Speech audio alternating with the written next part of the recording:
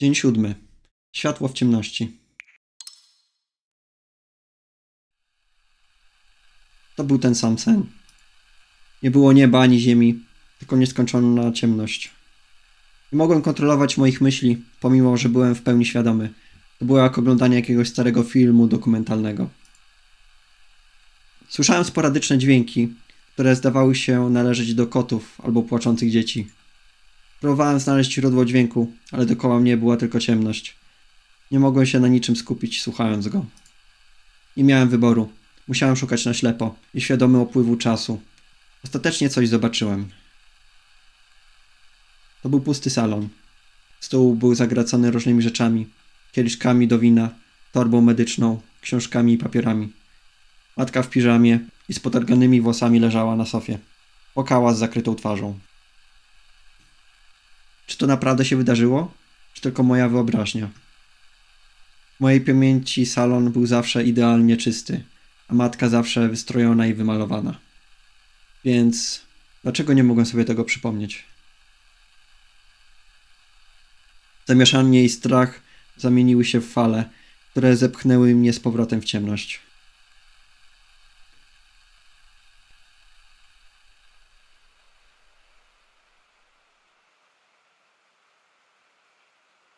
Ledwie czułem zapach znajomych papierosów i otworzyłem oczy pośród, zdaje się, niekończącego deszczu. Moim oczom ukazała się dziewczyna tuż przed moją twarzą. Ucnęła przede mną i gapiła się na mnie bez mrugnięcia okiem. Czy was bawi straszenie ludzi w ten sposób? Bezradnie zaprotestowałem. Nawet bez wrogości. Nadal nie było przyjemne, kiedy ktoś się na ciebie gapi tuż po obudzeniu.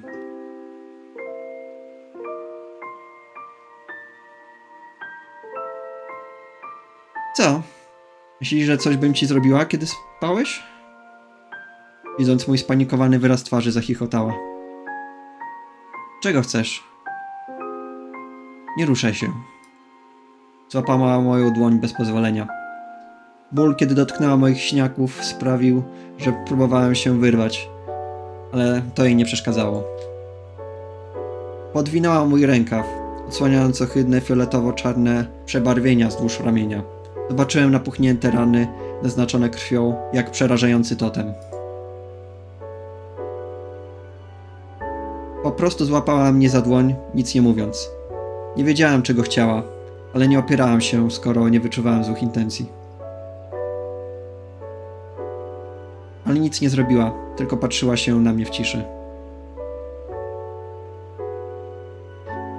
Co? Mój urok cię nie śmiela? Nie mogłem wytrzymać niepokoju i przemówiłem. Kretyn. Nie interesuje mnie taka cipa jak ty. Próbowałem zażartować, ale nagrodziła mnie tylko spojrzeniem. Czy nadal cię boli? Puściła wzrok i lekko dotknęła moich ran. Jej drżące brwi zdawały się ukrywać nieopisane emocje. Jest w porządku. Nie była opatrzona, kiedy zostałem zraniony i prawdopodobnie zajmie sporo czasu, zanim się zaleczy. Miałem szczęście, że nie uszkodziła kości. Krząknęła i opuściła moją dłoń. Nie mogłem uwierzyć, ale zdawała się żałować tego, że mnie zraniła przedwczoraj. Porwała mnie, ale naprawdę nie chciała mnie zranić. Nienawidziła bycia dyskryminowaną, ale miała wiele uprzedzeń do bogatych. Może nawet sama zdawała sobie sprawę z tych wszystkich sprzeczności. Więc co teraz?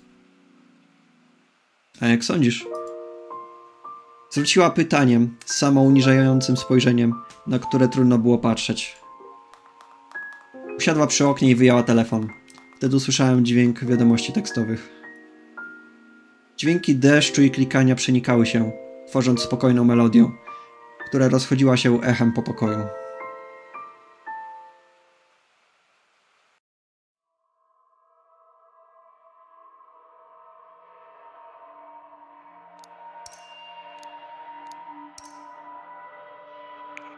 Słyszałem, że byłaś wzorową uczennicą. Słyszałem, że byłaś wzorową uczennicą.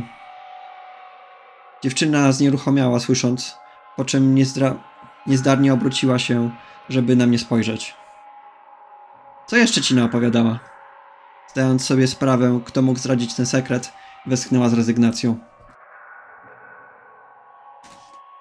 No i co? Masz z tym problem? Nie, po prostu uważam to za ciekawe. Może sprawy inaczej by się potoczyły, gdyby skończyła szkołę. Szukałaś może pomocy rządowej, na przykład Departament Pomocy Społecznej albo Urząd Rejonowy? Zaginionym ojcem i zmarłą matką mogłyby ubiegać się o zasiłek społeczny i może urząd mógłby zorganizować pomoc, aby mogły się gdzieś ustatkować. Byliby bardzo nieudolni, gdyby nie potrafili zająć się nad takim przypadkiem. Nie kwalifikujemy się. Nie kwalifikujecie? Czy tylko ktoś z martwą całą rodziną by się kwalifikował, czy co? Co no diabła ci naopowiadała? Niecierpliwie westchnęła. Jeszcze się nie obudziłeś? Nie rozumiesz tego? Ci siedzący w krzesłach biurowych, ci ustalający prawa myślą, że wszystko jest zorganizowane i w porządku. Biedni ludzie mogą się ubiegać o zasiłek społeczny, ludzie w długich ludzie w długach powinni ogłosić bankructwo. Prawo jedynie wydaje się chronić wszystkich. Ciągle mówisz, czemu nie spróbujesz tego albo tamtego. Musi być jakiś inny sposób. Cóż, jeżeli świat naprawdę jest taki ładny i elegancki, to dlaczego musiałem cię porwać? Może daruj sobie. Wiemy, jaka jest rzeczywistość w przeciwieństwie do ciebie, który żyjesz we śnie, myśląc, że, że wszystkie te przestępstwa to wyjątek od reguły. Tylko poczekaj. Tak długo jak będziesz myślał w ten sposób, te przypadki nigdy nie znikną. Kończąc swoją deklarację, wzruszyła ramionami i zaczęła się śmiać. Ale to już nie twój interes.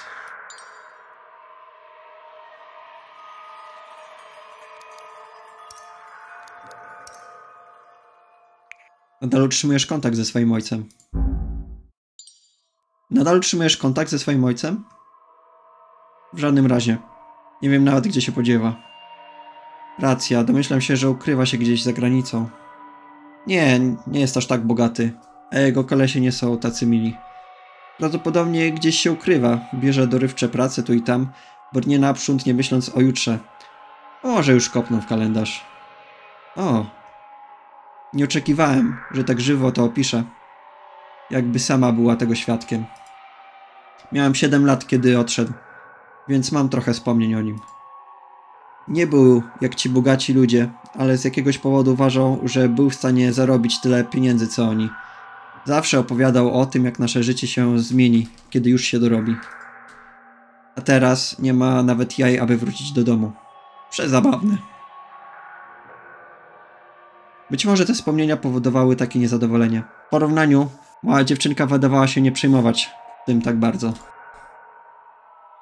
Może nawet nie zdawała sobie sprawy z sympatii i pożałowania ukrytego pod tymi wszystkimi narzekaniami.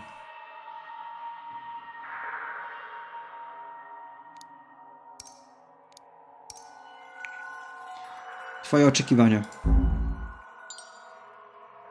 Hej. Zaszokowany rzadkim przypadkiem, kiedy to ona przemawia do mnie, podniosłem głowę. O tym, co wczoraj powiedziałeś, Zastanawiała się trochę i wypuściła z siebie biały dym. W jej oczach było pewne ciepło. Gdyby było więcej ludzi takich jak ty, to może to wszystko nie skończyłoby się w ten sposób. Naznaczeni słowem ubóstwo nigdy nie otrzymali zbytniego uznania ze strony społeczeństwa. Gdyby ludzie nie krytykowali się nawzajem ze względu na swoje bogactwo, może by do tego nie doszło. Czy to komplement z twojej strony? Myśl, co chcesz. Nie odpowiedziała bezpośrednio na moje pytanie, tylko nonszalancko obróciła głowę w kierunku okna.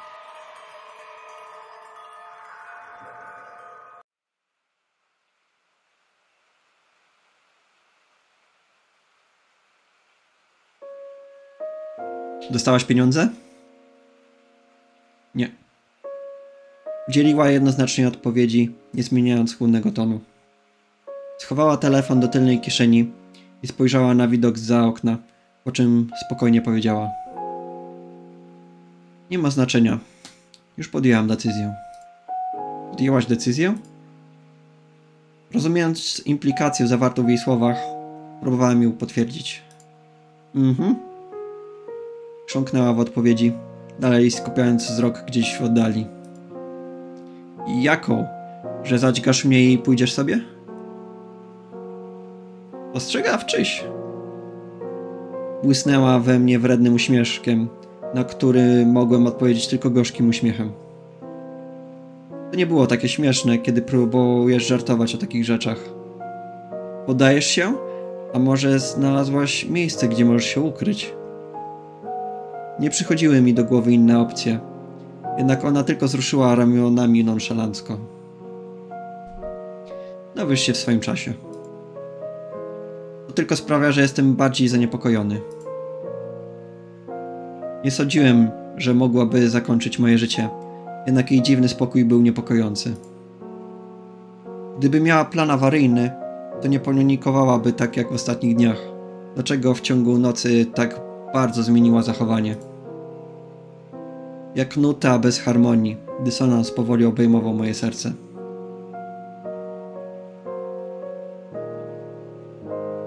Nigdy nie wierzyłem w natychmiastowe oświecenie. Słuchanie, jak ktoś mówił, że poznał prawdę o świecie i dos dostał nowe życie po dołączeniu do jakiegoś kultu, było bardziej niewiarygodne niż fabuła kiepskiego filmu sci-fi. Jeżeli wartości, które wyznawałeś przez dekady, mogły się zmienić przy pomocy kilku słów, to jaki był sens życia? Hej. Coś tu nie pasowało, im bardziej o tym myślałem, więc postanowiłem się dowiedzieć, co miała na myśli poprzez podjęcie decyzji. E? Czego chcesz? Widząc moje staranie, zaśmiała się. Co? Boisz się? Sram w gacie. Wolałbym mieć trochę czasu na mentalne przygotowanie się, jak odmówienie modlitw czy pozostawienie listu. O, jesteś człowiekiem wiary? Nie bardzo. Ale tuż przed śmiercią równie dobrze mogę nim zostać. Tak pójdziesz do piekła za mówienie takich rzeczy. Zmieniłem swoją pozycję pod ścianą, jednak jej spojrzenie nie opuszczało telefonu, kiedy odpowiadała mi. Jej zachowanie tylko bardziej mnie zdezorientowało, więc postanowiłem zmienić temat. Gdzie byś się udała po dostaniu pieniędzy? Gdziekolwiek. Tajwan to duże miejsce. Nadal zostałabyś w Tajwanie? Myślałem, że była gotowa wyjechać za granicę i przeczekać tam, aż wszystko się skończy. A gdzie indziej? Zapytała z poniesioną brwią. Nie jestem dobra w znajdowaniu luk w prawie i zarządzaniu praniem pieniędzy w zagranicznych kontach. Tacy ludzie kradną wszystkie te pieniądze, ale nigdy nie ponoszą odpowiedzialności. Nie ma szans, abyśmy mogli się do nich porównywać. W najlepszym wypadku stać nas na jakieś śmieszne porwanie albo rabunek, żeby zdobyć pieniądze ryzykując życie. Wszystko, ponieważ nie jesteśmy wyedukowani. Jej słowa urągały jej samej. Było nawet poczucie pewnego samoudręczenia, kiedy ktoś tak dumny jak ona mówi coś takiego. Rozważając wszystkie wydarzenia do teraz oraz jej słowa, w końcu ułożyłem w całość elementy układanki. To ty jesteś kozłem ofiarnym, czyż nie? W tym toku myślenia wiele rzeczy zaczynało mieć sens. Dlaczego wdałaś się w ten bałagan ze swoją siostrą? Dlaczego wiedziała o mnie tak dużo, pomimo że była nędznym porywaczem? Lichwiarz dał jej informację o porwaniu i powiedział, że to dla niej szansa na spłacenie długu, plus mały bonus na rozpoczęcie nowego życia. Aby uniknąć odpowiedzialności, nie zaoferowali nawet żadnego wsparcia, dlatego musiała poprosić siostrę o pomoc. Prawdziwy winowajca nie miał nic do stracenia. Czekała na niego góra pieniędzy, jeżeli się powiedzie, i zero kłopotów, jeżeli się nie powiedzie. Nie miały innego wyboru niż zagrać w tą grę. Zmusili cię do. Ja podjęłam tą decyzję. Jakby wiedząc, co chciałem powiedzieć, spojrzała na mnie gniewnie. Myślisz, że jestem dzieckiem? Grałam jak głupiec, który niczego nie rozumie? No, oszczędź mi. Wezmę odpowiedzialność za moje czyny, zamiast wikłać w to innych. Nie mogłem znaleźć odpowiedzi na jej słowa. Mogła to wszystko zrzucić na innych, ale wybrała samej nieść to brzemię. Ale moja siostra o niczym nie wiedziała, tylko wykonywała moje instrukcje. Jej twarz pociemniała przy wspomnieniu swojej siostry. Ciskała wargi, jakby coś trzymała. Nie miała żadnej nadzwyczajnej determinacji, pozwalającej jej dźwigać cały ten ciężar. Po prostu się forsowała.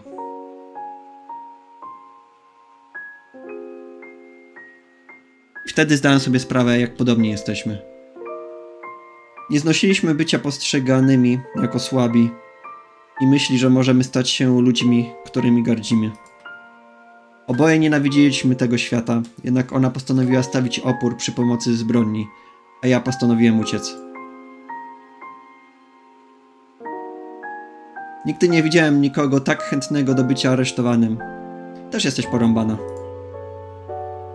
Muszę być, albo zabiłabym się dawno temu, jak moja mama. Parsknęła niedbale. Nie było smutku w jej głosie, jak gdyby po prostu opowiadała o wczoraj.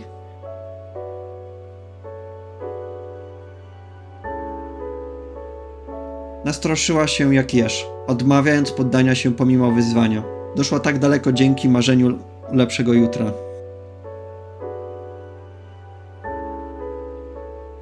Nawet jeżeli to nie było jej dane, co jeszcze jej zostało?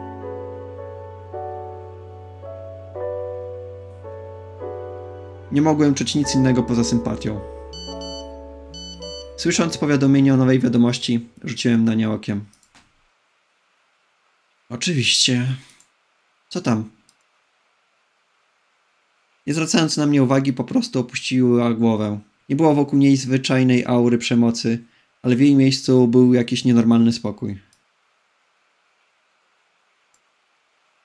Zamknęła oczy i westchnęła, po czym zaczęła dzwonić. Do kogo dzwonisz? Nie twój interes. Gdzie jest kasa? Przeszła od razu do sedna. Mówiła dalej, zanim otrzymała pełną odpowiedź. Skończyłam z gadaniem. Zaczęła kręcić włosy w przygnębiony sposób. To było zupełnie inne od jej zwyczajnego tonu. Nie śmiała się. Tak jakby już się nie przejmowała okupem. Coś się zmieniło. Poczucie niepokoju ciężko zalegało mi na klatce piersiowej. Byłem w stanie jakoś zgadywać jej myśli, ale nie, nadal nie mogłem domyślić się tej kluczowej decyzji, którą podjęła. Koniec. Myślisz, że nie wiem, że grasz na czas?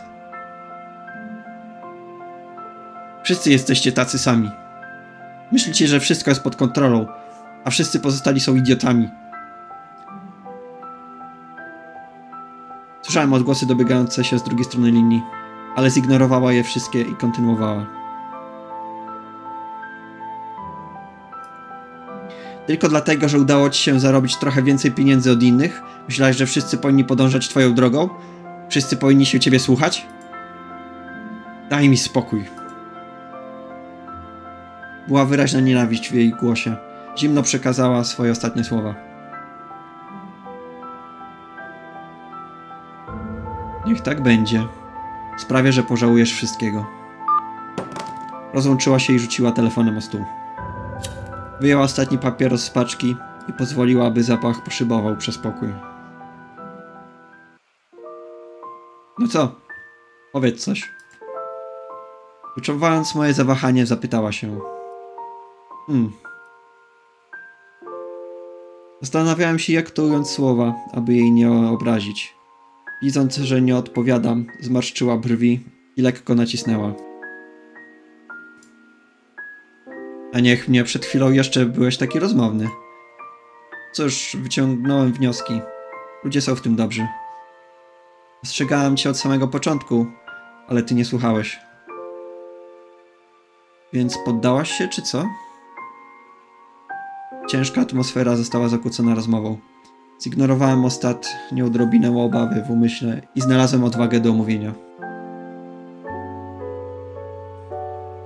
Ta, to by pomyślał, że ktokolwiek stawiałby pieniądze ponad własnym dzieckiem. Prawdopodobnie nie wybuliłby pieniędzy nawet gdybym cię zamordowała. Ehe. Na jej twarzy był gorzki uśmiech. Liczyłem na jakiś poruszający cud, ale rzeczywistość była inna. Bez zaufania pomiędzy stronami nie było negocjacji. Nawet gdyby zapłacił pieniądze, porywacze mogli nadal złamać umowę. Nie było zabezpieczenia dla rodziny.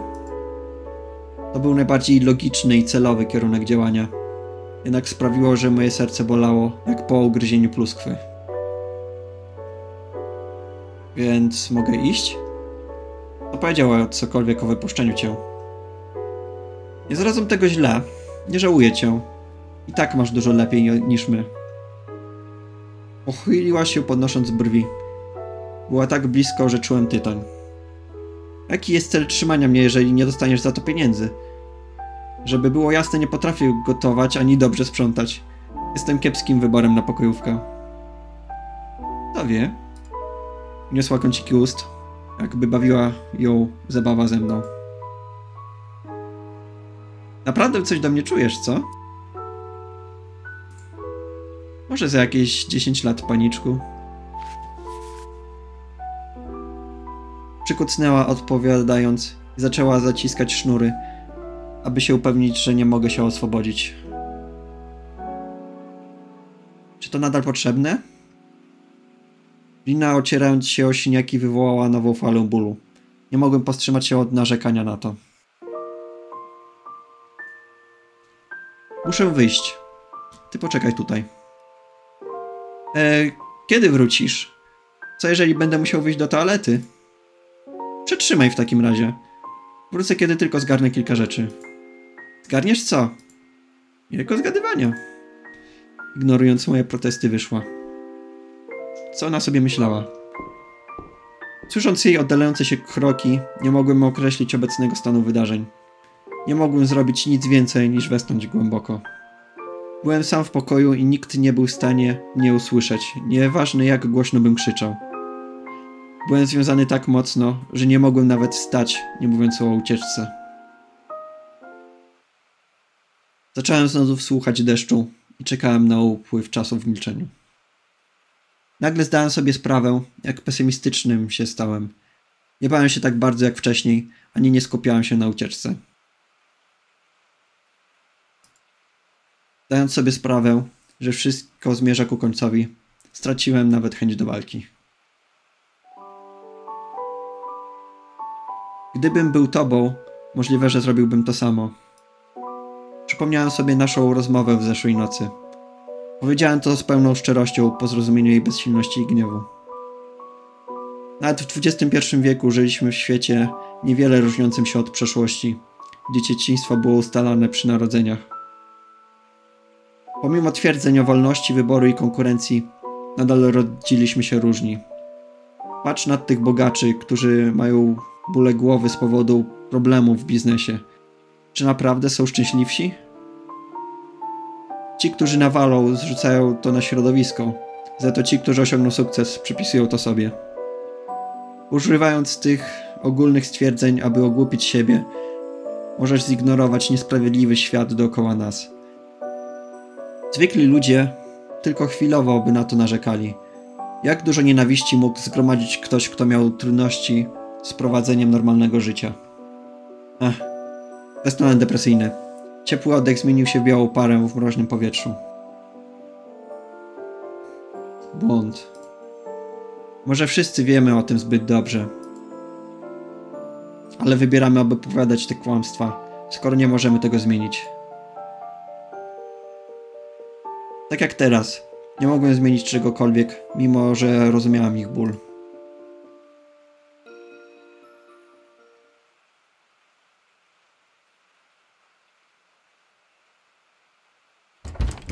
Usłyszałem kroki na klatce schodowej, potem dźwięk otwieranych drzwi. Odebrało mi mowę, kiedy ją zobaczyłem. Co to, wyprzedaż w supermarkecie? Miała dwie gigantyczne plastikowe torby rzeczy w rękach.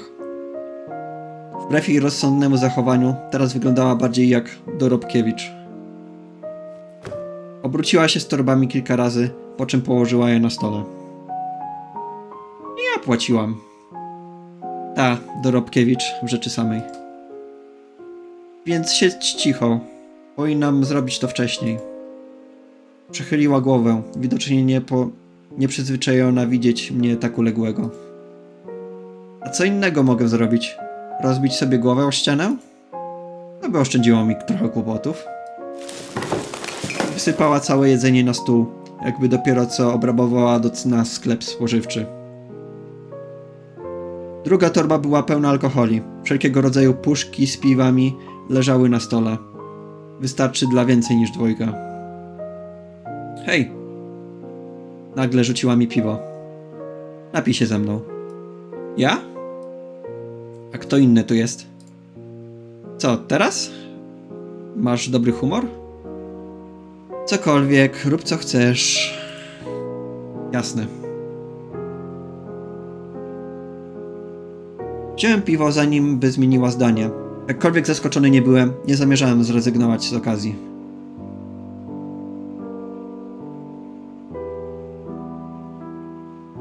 Otworzyła pakowane spaghetti, które wypełniło cały pokój zapachem masła. Woń bardziej kusząca niż cokolwiek, co do tej pory czułem.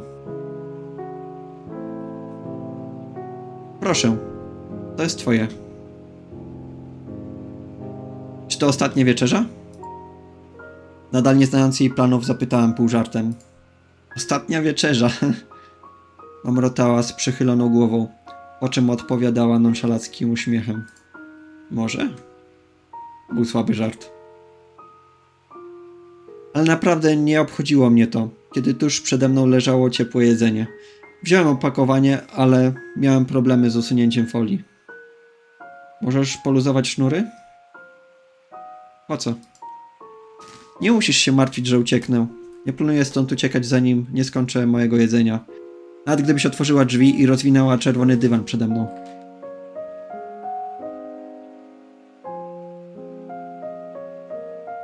Nie bądź niepoważny. Tylko pakowane bento ze spożywczaka.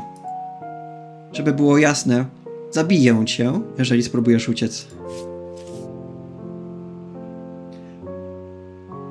Po rzuceniu groźby poluzowała więzy. Nadal nie mogłem w pełni używać rąk, ale przynajmniej używanie widelca nie stanowiło problemu. Chętnie otworzyłem opakowanie i zacząłem wsuwać jedzenie. Ciepły sos rozpłynął mi się w ustach, ogrzewając zarówno mój żołądek, jak i serce. W końcu zjeść właściwy posiłek po tylu dniach prawie poruszyło mnie to do łez. O Boże, nie wiedziałem, że mrożone jedzenie może być takie dobre. Czyżby? Odpowiedziała nieobecnie. W porównaniu do mnie wchłaniającego jedzenie, ona ledwo cokolwiek zjadła, tylko ciągle lepiła. Łatwo się upić, jeżeli niczego nie będziesz jadła. Ewidentnie chciała się upić w ten sposób. Martwiąc się, co może nastąpić potem, próbowałem jej o tym przypomnieć. Siedź cicho. Nie tego właśnie chcesz? Nie zaprosiłam cię do picia, żebyś mnie teraz krytykował. Rzucę cię z klifu, jeżeli teraz nie zaczniesz pić. Tak, tak, proszę pani. Nie miałem wyboru. Musiałem przechylić butelkę po usłyszeniu jej gruźb. Piła zaskakująco cicho. Z jedną ręką w kieszeni oparła się o ścianę, niczym nie ma statua. Picie piwa w tak zimnej pogodzie nie było zbyt przyjemne. Na szczęście moje ciało zaczęło się rozgrzewać i mogłem lepiej się skupić. Utrzymywałem świadomość jedząc jedzenie i pijąc, tylko niskoprocentowe piwa. Hej. Co? Co miałaś na myśli wczoraj mówiąc jest już za późno? Jesteś całkiem rozgadany. Odwróciła głowę i westchnęła niecierpliwie, wodząc palcem wskazującym po krawędzi puszki piwa. Dziwniejsze jest siedzieć cicho pijąc wspólnie, jakby to był pogrzeb. Jak uważasz? Nie okazując zainteresowania tematem, wzięła kolejny duży łyk. To może ty wymyślisz jakiś temat. Cokolwiek zechcesz. Nadal nie mogłem się domyślić jej decyzji. Nagła zmiana podejścia i niejasna sytuacja sprawiły, że czułem się nieswojo. Było bardziej sensowne pozwolić jej mówić cokolwiek chciała, niż próbując ją o to zagadywać. Mówiłem ci już wcześniej, prawda? O moim marzeniu. Po chwili ciszy cicho przemówiła. O rozpoczęciu nowego życia, gdzieś gdzie nikt cię nie zna. Po osuszeniu puszki rzuciła ją o podłogę, robiąc donośny, brzęczący odgłos. Twoje pieniądze nic nie zmienią, powiedziała cicho. Nie było gniewu w jej głosie pośród tego deszczu, tylko bezsilna akceptacja. Bóg mojego ojca był większy niż tylko kilka setek tysięcy. Dlaczego niby musiałabym tak ciężko pracować, gdyby było inaczej? Twoje pieniądze mogą co najwyżej spłacić skumulowane odsetki, w najlepszym przypadku. To bez sensu. Nadal musiałabym pracować, a i tak nigdy by to nie wystarczyło. Nie patrz się tak na mnie. Nie potrzebuję twojej litości. Jej twarz była czerwona i widziałem wpływ alkoholu w jej oczach. Światło w nich zdawało się dobijać wszelkie moje myśli. Jak dużo właściwie jesteś winna? Odpaliła papierosa i próbowała to przeliczyć. Stopniowo wydychała dym, potem trząsnęła głową. Nawet nie pamiętam, ale jest to kwota, której nie mogłabym spłacić, nawet gdybym pracowała dzień i noc przez całe życie. Wzięła puszkę i zaczęła nią machać w lewo i prawo. Zdawała się przemyślać słowa, których użyć, słuchając odgłosu z wnętrza puszki.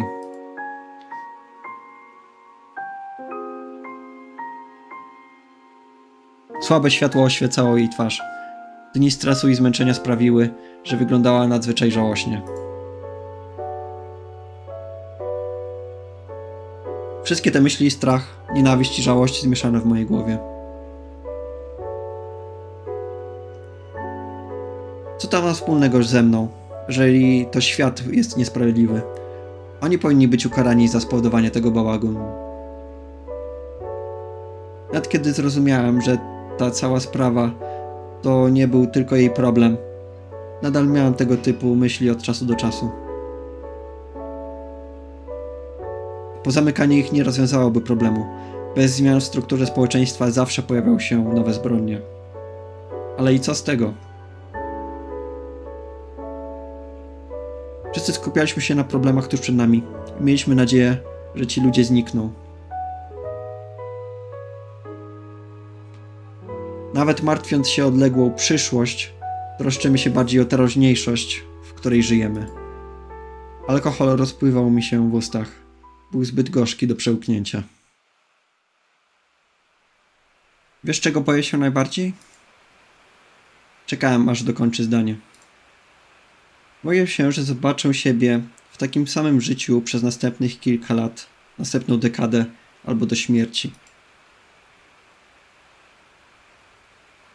To byłoby jak zarabianie wszystkich tych pieniędzy dla innych, jak niewolnik. Wolałam postawić wszystko na to. W przeciwnym wypadku wolałabym już umrzeć. Nie mogłem odpowiedzieć. Dopóki żyjesz, jest nadzieja. Brzmiało to jak jakaś bezcelowa drwina. Wzięła kolejną butelkę. Czułem silną wonię alkoholu od niej i jej ciepłego oddechu. Chcę się upić. Chcę o wszystkim zapomnieć. Chcę wszystko zostawić.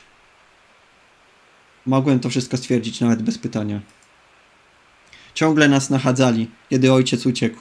Rozbijali butelki po winie, wylewali farbę na ścianę. Wszystko, co możesz sobie wyobrazić. Nawet zmusili mnie, żebym pomagała im w klubie nocnym, kiedy miałam około 12 lat. Ci bogacze mają naprawdę nasrane we łbach. Nie trwało długo, zanim moja mama się poddała. Po codziennym stawianiu czoła tym ludziom, jednocześnie zajmując się dziećmi. Beznamiętnie opisała swoją tragedię, tak jakby to było doświadczenie kogoś innego. Wiesz co powiedziała, zanim się zabiła? Powiedziała nam, żebyśmy nie winiły naszego ojca. Powiedziała, że po prostu mieliśmy pecha. Zaczęła się drwiąco śmiać. Potem kontynuowała mamrotanie w transie. To nie było tak dalekie od fabuły filmu. Tragedie dzieją się wokół nas, ale nigdy nie zwracamy na nie uwagi, dopóki nie dotyczą nas osobiście. Kiedyś myślałam przez długi czas, co poszło nie tak.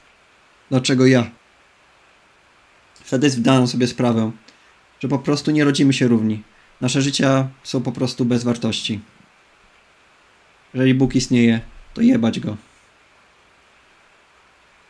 Jak ci bogacze śmią patrzeć na mnie z góry? Jakim prawem mogą nam mówić, że powinniśmy użyć naszych mózgów, tak jak oni, którzy byli tymi sprytnymi i odnoszącymi sukces?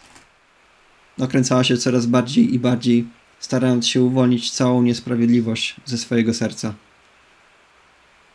Co w nich jest takiego szczególnego, poza tym, że mieli farta? Co byliby w stanie osiągnąć, gdyby żyli takie samo życie co ja? Butelka wina rozbiła się o podłogę na niezliczone odłamki. Dług, porwanie, separacja z siostrą. Wszystkie te rzeczy w końcu dogoniły dziewczynę. Jej stłamszone emocje dopadły ją niczym lawina skalna. Ciężko dyszała, nie mogła dłużej uspokoić unoszącej się klatki piersiowej. Jedyne co mogłem zrobić to wpatrywać się w nią cicho, bez odzywania się słowem. Cofnęła się o krok, potem upadła na podłogę, opierając się o ścianę. Chcę zacząć od początku. Ręce, którymi trzymała się za nogi, trzęsły się, a w jej głosie było słychać szloch. Pierwszy raz widziałem ją tak wrażliwą, jak ostrożnie wykonana szklana bańka. Chcę zapomnieć o tym wszystkim. Chcę restartu. Chcę udać się gdzieś, gdzie nikt mnie nie zna. Czy to tak wiele? Czemu nie mogę mieć tego, czym inni cieszą się bez wysiłku? Dlaczego? Dlaczego ja? Dlaczego? Amrotała jak przez sen. Jej głos stopniowo cichł, aż stał się niesłyszalny. Nie prosiła o żaden królowski rodowód czy bogatą rodzinę. Wszystko, czego chciała, to normalne środowisko, ale nawet tego nie dostała. Świat nie jest sprawiedliwy. Niektórzy rodzili się w kraju trzeciego świata i nigdy nie dostają szansy na edukację. Niektórzy rodzą się z niepełnosprawnościami i nie mogą operować tak jak inni. Nikt nie może tego zmienić ani zaprzeczyć faktom. Nie ma różnicy. Ktoś mógł czuć żale za młodszą siostrę, która niczym nie wiedziała, ale nawet ona nie miała wyboru w tej sprawie. Ich ojciec jej opuścił. Ich matka popełniła samobójstwo. Dług odebrał im edukację i nikogo nie mogły poprosić o pomoc.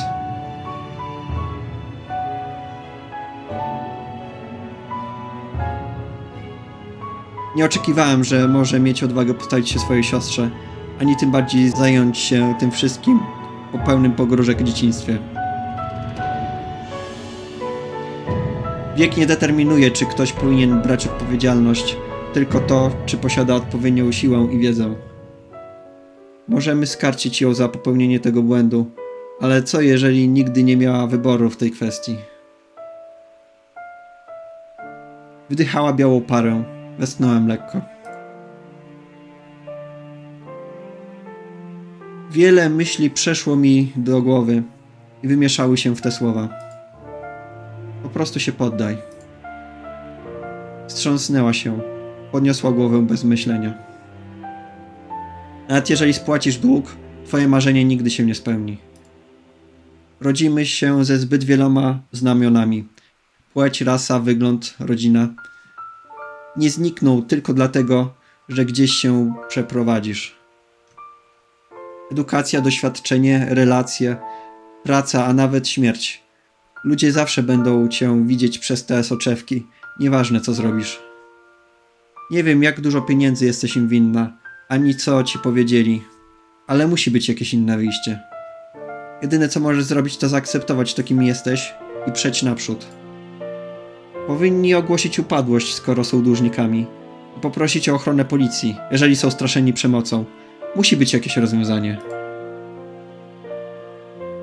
Może ktoś, kto zna się na prawie i nie przejmuje się wynagrodzeniem, mógłby im pomóc. Po co mi to mówisz? Jej oczy były zaczerwienione i zapytała się mnie niczym zagubione dziecko. Zająknąłem się. Najwyraźniej powiedziała mi te wszystkie rzeczy bez myślenia. Dlaczego jej to wszystko powiedziałem? Ponieważ ty i ja nie różnimy się tak bardzo. Po prostu miałem od ciebie więcej szczęścia. Nigdy nie postrzegałem siebie jako złoczyńcę z książki dla dzieci. Wszyscy chcemy tylko szczęśliwego życia, jak książę i księżniczka z bajki. Nie jest bezdusznym zbrodniarzem, który lubi popełniać przestępstwa. Każdy mógł podjąć takie same decyzje, będąc w jej sytuacji, zwłaszcza jeżeli nie ma się wyboru. Czyżby nie odpowiedziała na moje pytanie, ale podjęła jakąś decyzję. Ale z ciebie dziwak. Lekko zachichotała. Ślady po jej łzach jeszcze nie wyschły, ale w jej wyrazie twarzy było ciepło. Widziałem ten uśmiech. Straciłem wszelkie wątpliwości. Pomimo naszego dzieciństwa, rasy i płci, wszyscy mamy coś, czego się boimy, a o co się martwimy i do czego dążymy. Nie jesteśmy tacy różni.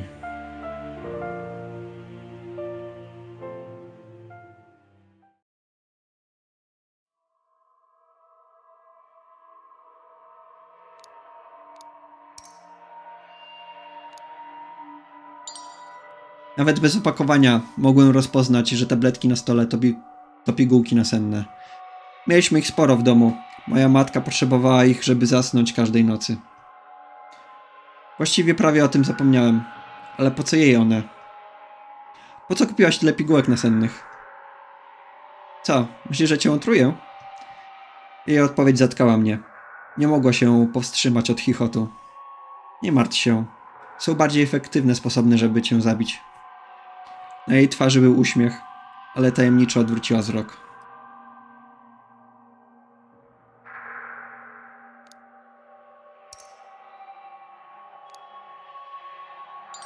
Zielona zasłonka była pokryta grubą warstwą kurzu. Prawdopodobnie nie była myta od długiego czasu. Nie jestem nawet w stanie określić, jaki był jej oryginalny kolor. Służy do ukrywania światła w pokoju w nocy. Wydaje skrzypiące dźwięki za każdym razem, kiedy ktoś ją zaciąga. Z drugiej strony, jeżeli potrzebują skrywać światło, czy to oznacza, że ktoś inny może być w pobliżu?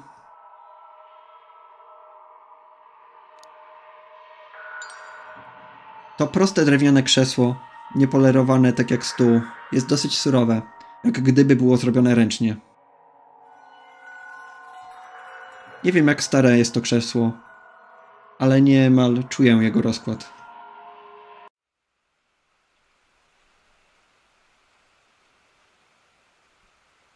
Z upływem czasu oboje zapadliśmy w ciszę. Butelki wina były puste, a tematy do rozmowy wyczerpane. Jedyne co zostało to epilog. Masz rację. Pora to skończyć. Dziewczyna odłożyła puszkę, podeszła do mnie z nożem kuchennym. Wydawało się, że nie przeszkadzały jej odłamki szkła na podłodze. Końcówka noża zwrócona ku mnie błysnęła niebezpiecznie. Proste pchnięcie i byłoby to koniec mojego życia. Nagle się zatrzymała. Jej ręce się nie trzęsły, ani nie wydawała się wahać, tylko spokojnie mnie obserwowała. Deszcz rozchodzi się echem po pokoju, łącznie z naszymi płytkimi oddechami. Nie boisz się? A zamierzasz mnie zabić? Patrywała się we mnie, odpowiedziałem jej tym samym. W ciemności jej oczy lśniły niczym gwiazdy. Tych oczach ujrzałem siebie, zmęczonego, ale nieustraszonego. Naprawdę się nie boisz. Jej wyraz twarzy rozluźnił się. Opuściła dłoń, w której trzymała nóż. W jej głosie była nuta frustracji. Nie sądzę, że naprawdę byś to zrobiła. Czyżby? Nie udało mi się nawet być dobrym porywaczem. Jaka szkoda. Przecięła linę dookoła moich nóg. W końcu otrzymując wolność po tylu dniach, uznałem to uczucie za dosyć obce. Z chęcią poruszyłem nogami. Miałem siniaki tam, gdzie wcześniej były sznury, jakby nie były częścią mojego ciała. Stałem opierając się o ścianę. W końcu patrząc na nią twarzą w twarz, zauważyłem, że nie była aż taka wysoka. Nadal trzymała nóż skierowany we mnie. Nikłe światło z lampy oświetlało jej zmęczoną, ale zdeterminowaną twarz. Jeżeli. Jeżeli naprawdę czujesz, że nie ma różnicy, to proszę pomóż im. Tak jak mówiłeś, po prostu nie mieli szczęścia. Oni. Jej dobór słów zwrócił moją uwagę. Dlaczego nie my? I jeszcze jedno. Zawahała się na chwilę, zanim otworzyła usta. Pan Ken jest facetem, z którym twoja matka miała romans. To on zdradził informacje o tobie. Czekaj, czy masz na myśli... Najprawdopodobniej lubiła zawiedzić o swojej rodzinie za każdym razem, kiedy się upiła. Prawdopodobnie nigdy nie myślała o takim rozwiązaniu. Nagły napływ informacji sprawił, że za nie mówiłem. Kopnęła mój plecak w moim kierunku. To wszystko. Zbieraj swoje graty i wynoś się. Podążaj drogą, a znajdziesz domy w ciągu 10 minut. A co z tobą? Nie twój interes. Mam coś do zrobienia.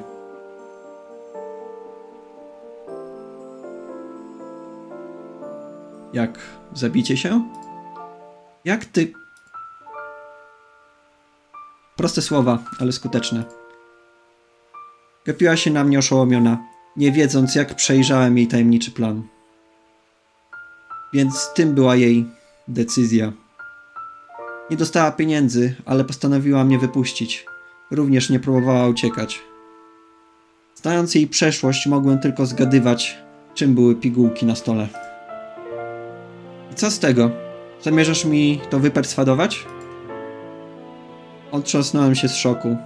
Zaczęła się historycznie śmiać, jednocześnie kręcąc włosami. Mam tego dosyć. Mogę wszystko zrestartować tylko w ten sposób. Bieda była niczym bezdemna otchłań, z której nigdy nie mogłaby się wydostać. Boję się, że zobaczę siebie w takim samym życiu przez następnych kilka lat, następną dekadę albo do śmierci. Mogła podjąć taką decyzję po zobaczeniu tej przyszłości. Ja. oszczędź sobie. Jeżeli chcesz mi pomóc, to zamknij ryj i wynoś się stąd na sapie. Chciałem ją ocalić, ale nie wiedziałem, co zrobić. W tym kapitalistycznym społeczeństwie, gdzie wszystko było decydowane przez naturalny porządek, nauczyłem się, że jestem bezsilny. Świat nie jest sprawiedliwy. Mruknąłem te same słowa, teraz w końcu znając odpowiedź na to zdanie. Nie możemy wszystkich zrównać. Zawsze będą różnice w naszej inteligencji i zdolnościach, podyktowane przez geny. Dlatego tym bardziej powinniśmy znaleźć sposób na naprawienie tego. Świat może być maszyną, ale my jesteśmy czymś więcej niż tylko śrubkami. Możemy zmienić to, jak operuje. Jeżeli maszyna jest zepsuta, powinniśmy spróbować ją na... Starczy. Pozwól mi chociaż wybrać, jak odejdę. Jej uśmiech był zmęczony, ale zdeterminowany. Próbowałem odpowiedzieć, ale słowa ugrzęzły mi w gardle. Jeżeli ktoś nie miał nic poza wyborem śmierci, jakie prawo mamy, aby ją zatrzymać? Jeżeli. Jeżeli naprawdę masz na myśli to, co powiedziałaś, to udowodnij to. Udowodnię ci to, że to wszystko da się zmienić. Więc czy ty uwierzysz we mnie? Spojrzała na mnie cicho, bez odpowiedzi. Za dużo rozczarowań zmusiło ją do wyrośnięcia z bycia dzieckiem wierzącym w bajki. Moja decyzja w ogóle jej nie pomoże. Dług nadal był obecny, tak samo jak postępowanie sądowe.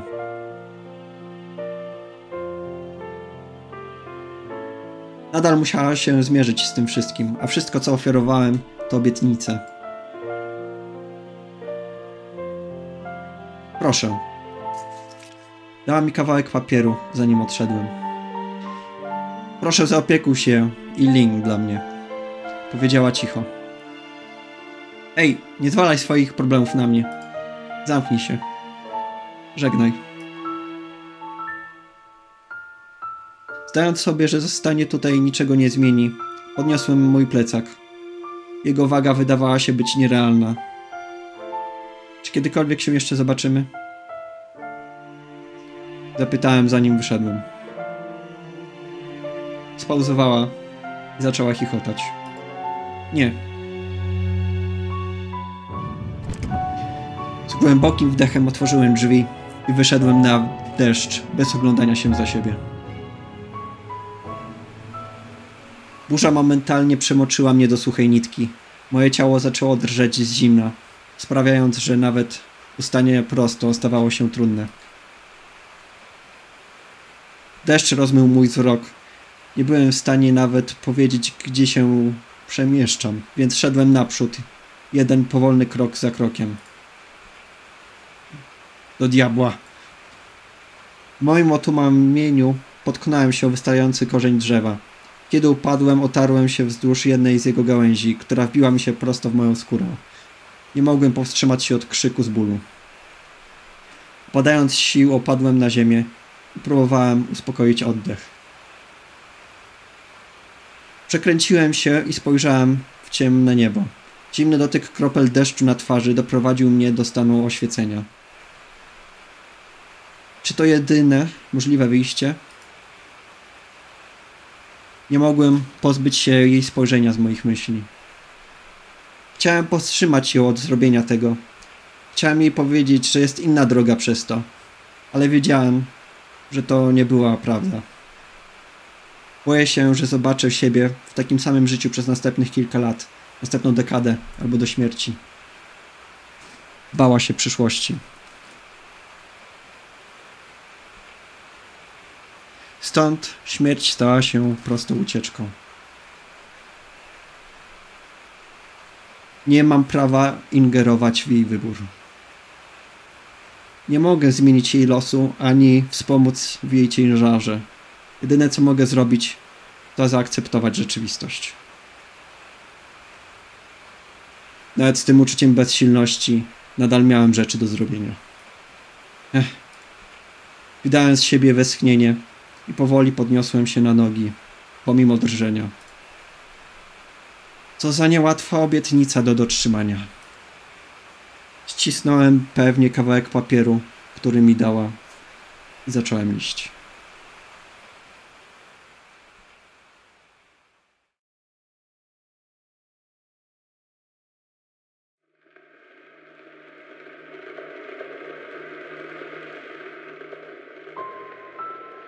Light in the Dark. Światło w ciemności. Tłumaczył i czytał Punio 7.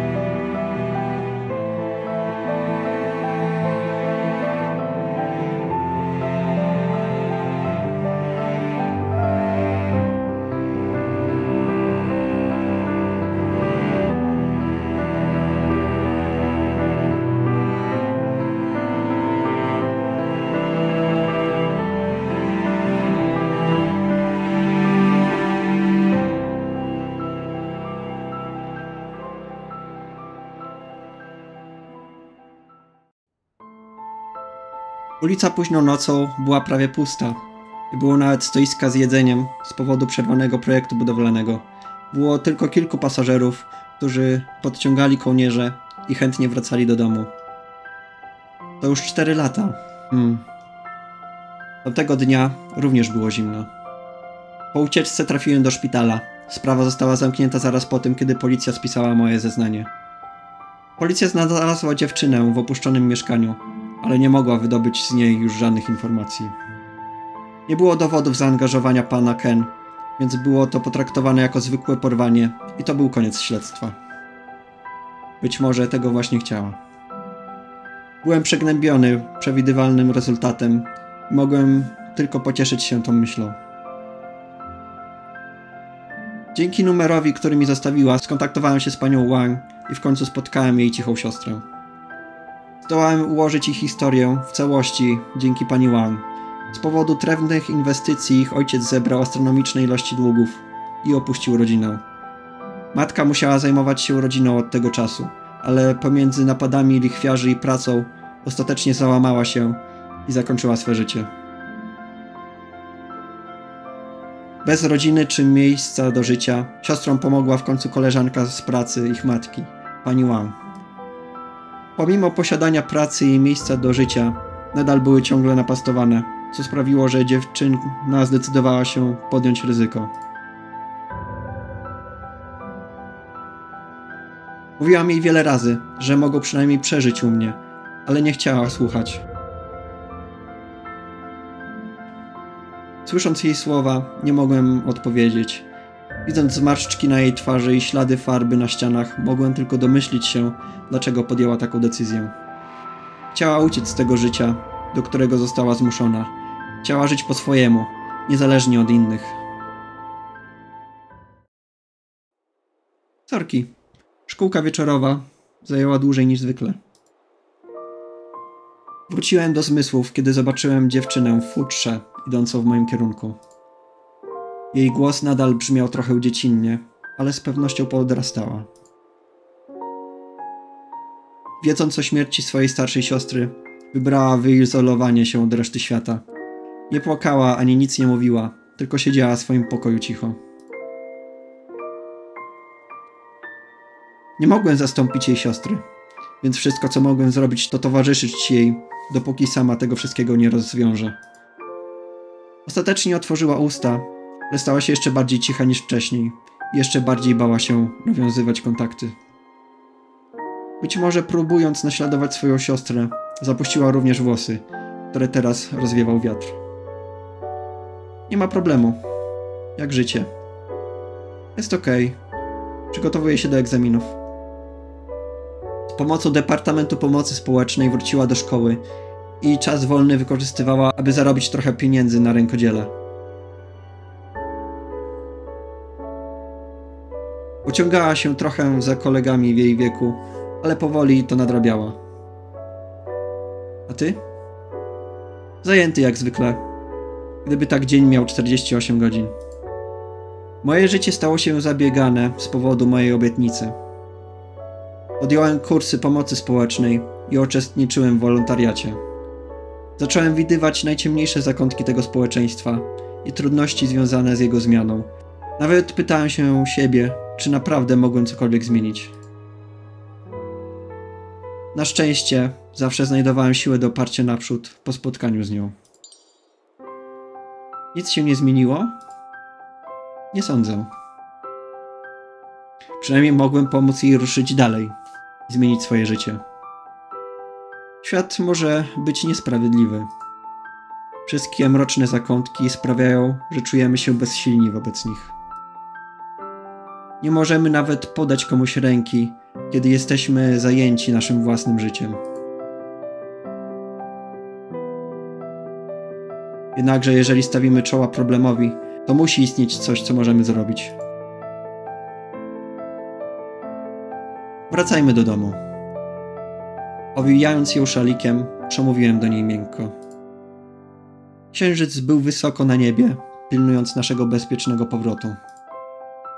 Może zanikać, może być przyćmiony, jednak księżyc kierował wszystkich ludzi tak samo.